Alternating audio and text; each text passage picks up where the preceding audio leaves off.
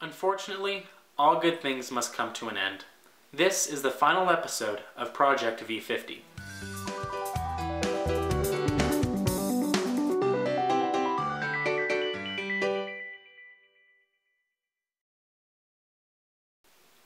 Now we still have the car and we're still enjoying it, but it's 14 years old and high mileage.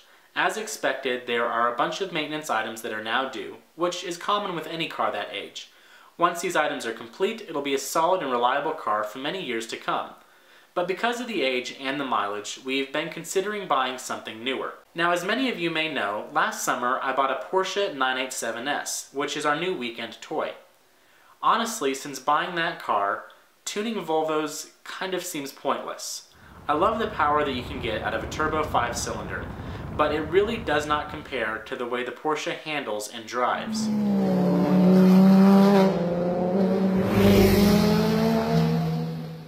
Now don't completely disown me. I still love Volvo. In fact, I still have four of them in the driveway.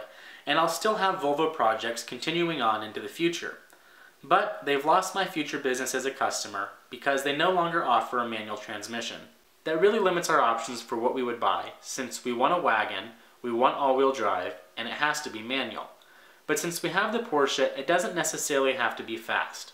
So we settled on a Subaru Outback. Now at this point, I do plan to keep the V50 and I plan to keep it going on the road. So please don't message me about a part out because the vehicle is not for sale. Thanks for following along with this series, and I hope you continue to watch my future videos.